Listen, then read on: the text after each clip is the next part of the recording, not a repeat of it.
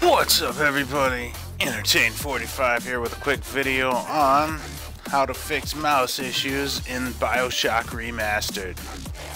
First thing you want to do is open up the file browser on my computer, depending on what version of Windows you have, and go to the search tab. You want to do a search for bioshock.ini. The file we're looking for is located in the app data folder and is a configuration setting as you see here. Just right click on it, open it with Notepad. Once you do that, the screen's going to look like this. You're to see just a ton of commands everywhere. You want to scroll down and find the command called reduce mouse lag and double buffer mouse lag.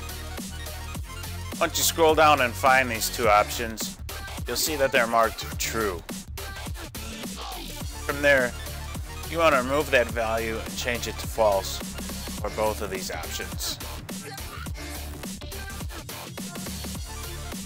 Once you've done that, you have one more step to go.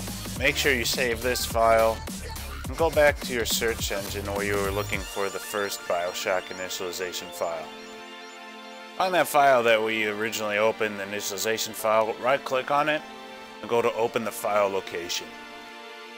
Once you're inside that folder, you want to open the file called user.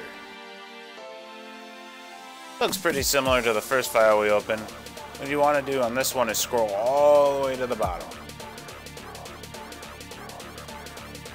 You know you're in the right spot once you find the command mouse accel threshold equals zero.